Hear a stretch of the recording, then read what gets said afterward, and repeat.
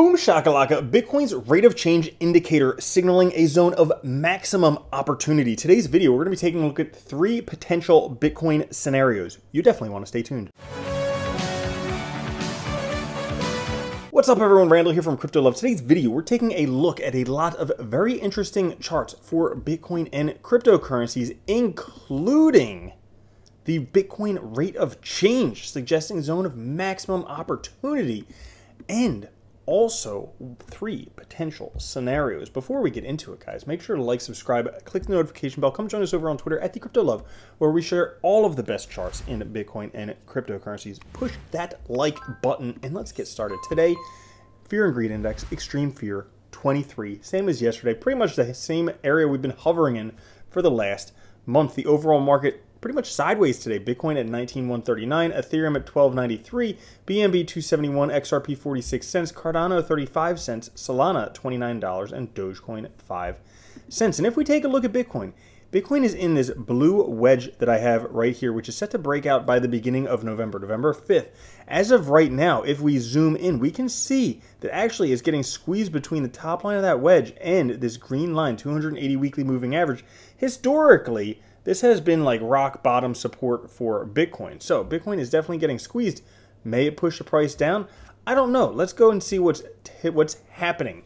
Right now, 3,200 Bitcoin were on the move yesterday. They were dormant since back here in December 2018. They were purchased for $3,901. They almost got an 8x on their money, maybe a 5x on their money. Not bad.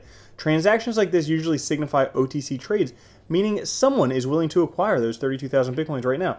And this reminds me of very much at that same time because that was when a lot of OTC trades were going on at the bottom area down around there. Now, right now, people are bearish, really bearish. Bearishness has spread like the flu. It's like a bearish pandemic. The AAII bull ratio 50 period moving average is officially at its lowest level ever. People are the most bearish ever. Now, should this surprise anyone? Well, not really. This isn't the third worst start to a year ever. The only two worst starts for the S&P 500 were 1974 and 2002. Those years saw stocks bottom on October 3rd and October 9th. Will history repeat itself? Because if we take a look, more bear markets end in October than any other month. I know the beginning of this year has been terrible, but looking at the past 17 bear markets show that a large number of them, 6 out of 17, ended in October. That's pretty potentially good news. It might be over. But if we take a look right now, the small trader put buying at the highest levels ever. Yes, people are the most pessimistic ever, and small traders are buying puts at levels we have never seen before. That means they're betting on the market going down and they're putting their money behind that. Now, if the bear market ends and if these puts are caught on the wrong side, it'll lead to massive losses for small traders. Now, the market likes to disappoint the most people as possible. Generally, it likes to disappoint the retail traders, not the insiders. Okay. So, that being said, where does it leave us for Bitcoin? Well, right now, Bitcoin has log bottom, ascending horizontal all time high support, and an oversold Chaikin money flow index that is turning around. Similarly to what has happened previously, this could be very, very good accumulation reversal support right there. As a matter of fact, on the weekly charts, Currently, we're 79 weeks from the halving, as can be seen right here on the right of this chart. Now, lows have occurred previously between 47 and 74 weeks. So in 2019, it was 74 weeks was a low. In 2015, it was 47 weeks. However, this right there was also 74 weeks, which is pretty darn close. In 2012, it was 54 weeks. So, next low, well, potentially between November, next month, and May of 2023. We could have a bottom if we see these smaller areas, or if it's 74 weeks. I mean, it could be already happening at this point. Which brings us to this chart. Very, very interesting chart here. The Bitcoin rate of change indicator. You may have noticed recently that Bitcoin is kind of like a stable coin.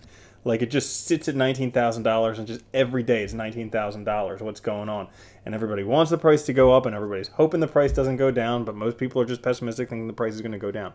Well, the rate of change is a pure momentum oscillator, also known as the market bubbles indicator.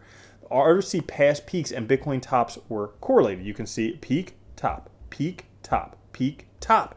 Now, Bitcoin was in the zone of maximum opportunity historically when it tagged the green line right down here. Zone of maximum opportunity, zone of maximum opportunity. Look at this. Currently tagging that green line, meaning, well, if this isn't a bottom, it's definitely a zone of maximum opportunity. Right now, we have the Bitcoin Relative Vigor Index demonstrating signal accumulation signals for Bitcoin entry. As a matter of fact, all previous times when we had a downtrend in this RVI signal, a little bounce, and then tap one, two, three, right after that, very large Bitcoin rally. Again, downtrend, bounce, one, two, three, tap, Bitcoin massive rally. Well, same thing happened again. Downtrend, bounce, one, two, three, potentially massive, massive rally in the cards for Bitcoin. Right now, Bitcoin has very, very high upside risk. And you're like, Randall, high risk, that doesn't sound good. But it's high upside risk, which is the opposite of high downside risk. You see, when the NUPL, the net unrealized profit and loss, is up in this top area, that's high downside risk. That means the price is more likely to go down than anything else. And this correlated very, very well with the Bitcoin peaks. But if we take a chart, a look at the chart right now, the NUPL, we are tagging the very bottom of it, indicating high upside risk. And this correlated very closely with previous market bottoms, suggesting we may again have a market bottom because it's in Bitcoin's DNA. I mean, they do say that Bitcoin is correlated to the halving. We'll kind of have to see if this is true. But the Bitcoin DNA pattern has been shown plus, plus, plus, minus, plus, plus, plus, minus, plus, plus, plus, minus, plus, plus, plus, up, down, up, down, left, right, left, right, AB, AB, select, start. I mean, Bitcoin has to have the contra code in its DNA, clearly. But will you take a chance to buy Bitcoin the last candle of the red box? That's right. We're in the last candle. Four red candles before it goes green. This potentially could be the last opportunity to get Bitcoin at a decent price because there are three potential scenarios. Now, some people think Bitcoin is going to crash down to like $10,000. Could totally happen. That's scenario number three.